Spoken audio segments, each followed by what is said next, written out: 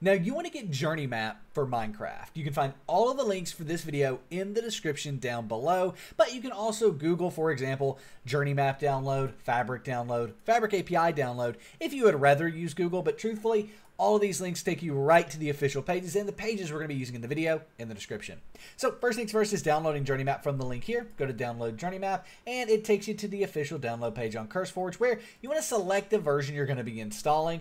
We are going to be installing the Fabric version though, so make sure you click on mod loaders here and select Fabric. You'll see all the different Fabric versions. You can refine it more by game version. We'll go with the most recent, but this will work for any version. Hover over that most recent version, click the three dots, and click download file.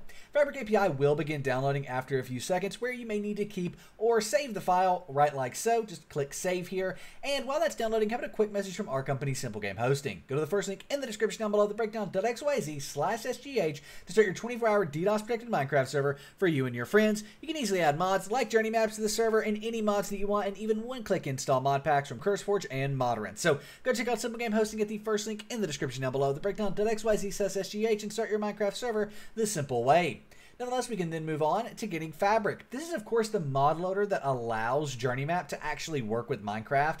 Again, you can Google Fabric download or just go to this site and click download Fabric. It will take you here where you want to click on download for Windows and just like with the Journey Map mod, we need to keep or save the file. Last but not least, we need the Fabric API. This is an API mod that is required for Minecraft. Fabric mods for Journey Map to work with Minecraft and Fabric. So come here, click download Fabric API, and we want to be downloading that 1.21.7 version of the Fabric API. And again, keep or save the file. Right like so, and we are good to go. We can now minimize our browser, and I'm gonna move everything to the desktop just for ease of use, but you can also leave everything in your downloads folder as well, because it's not gonna be staying here long.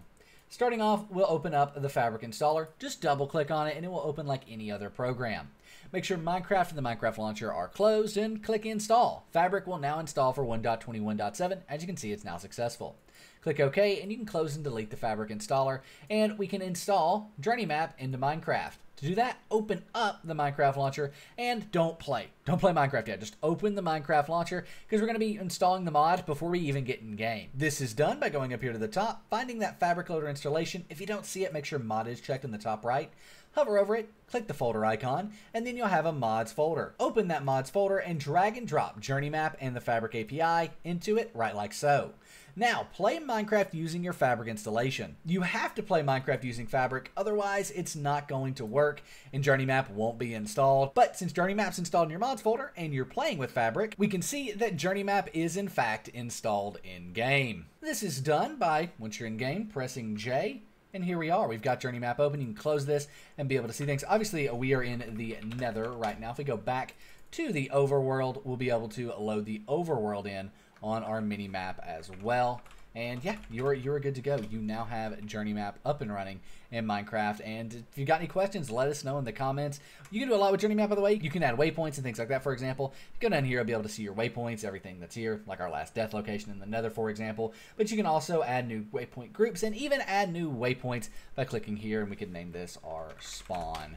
For example, and when we go in game, you have to back away from it a bit and it will appear. And we can also see it on our full screen map there. And I think it might even appear on the mini map in the top right. It does. So there you have it. That's how you can get Journey Map. We'll see you in the next video. Give it a thumbs up and subscribe if it helped you out. And I'm out. Peace.